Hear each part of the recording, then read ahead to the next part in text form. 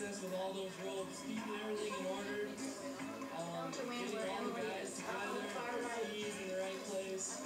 As you can see, or as you have seen in the past, there's a knot, and uh, looks like they're moving a little slow tonight also. You sure that's her?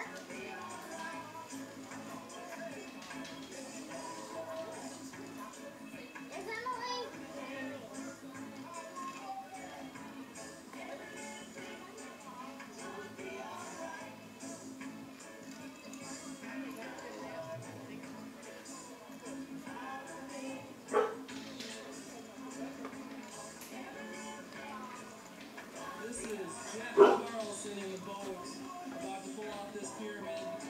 And this is one of the hardest things